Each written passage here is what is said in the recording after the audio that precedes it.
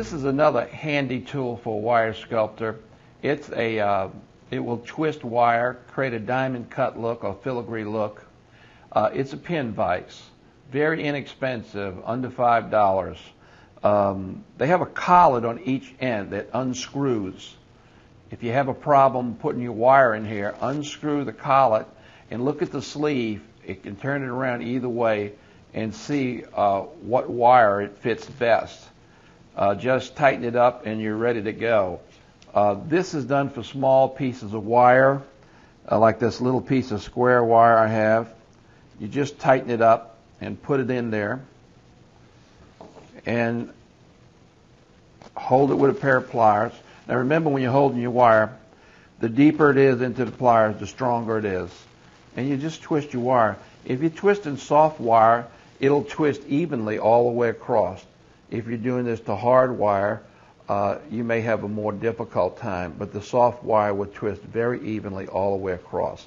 So this is a, a pin vise that's used up, used for up close work in uh, wire wrapping and wire sculpting. Uh, this is another handy tool. It's a homemade uh, wire twister. This is basically a uh, cordless screwdriver with a three-prong jeweler's head in it. And it closes up just like a drill. And you can uh, put any size wire from size uh, 22 to size 14 gauge into this head and just screw it down. And let me show you how this thing works. Uh, this is where you charge your batteries. You take this up, off, and you charge your batteries here. This is your on switch, but it's also a reverse switch. So that's reverse, that's forward. Um, take your wire,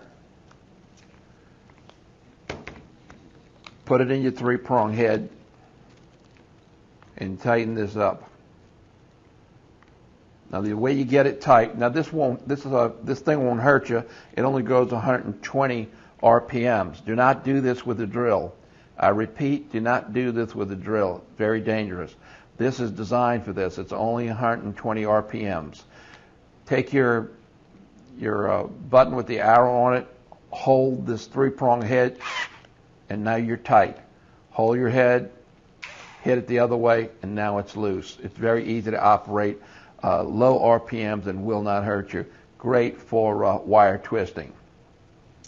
So those are the, some of the uh, tools that we use for twisting wire in the wire sculpting business.